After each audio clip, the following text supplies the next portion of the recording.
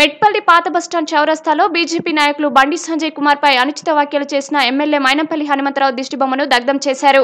MLA చేసిన వ్యాఖ్యలను వెనక్కి తీసుకుని వెంటనే క్షమాపణ కోరాలని లేని పక్షంలో తెలంగాణలో ఎక్కడ కూడా తిరగనీయకుండా అడ్డుకుంటామని బీజేపీ కార్పొరేటర్ల మీద జరిగిన దాడిపై నైతిక బాధ్యత వహిస్తూ డీజీపీ వెంటనే ఎమ్మెల్యేపై హత్యాయత్నం కేసు నమోదు చేసి అరెస్ట్ చేయాలని బీజేపీ నాయకులు డిమాండ్ చేయడం జరిగింది. ఈ కార్యక్రమంలో బీజేపీ పట్టణ అధ్యక్షులు బొడ్ల రమేష్ రాష్ట్ర కార్యవర్గ సభ్యులు సాంబారి ప్రభాకర్ బీజేవైఎం రాష్ట్ర కార్యవర్గ సభ్యులు దొనిక్కల నవీన్ కోరుట్ల మండల ఇన్ఛార్జి సురేందర్ గౌడ్ ఎస్టీ మోర్చా జిల్లా అధ్యక్షులు Manne Gangadhar IT cell zonal incharge Metpalli Sai Kumar జిల్లా కార్యవర్గ సభ్యులు గంప శ్రీనివాస్ ఉపాధ్యక్షులు బండారి రమేష్ పట్టణ బీజేపీ నాయకులు తదితరులు పాల్గొన్నారు.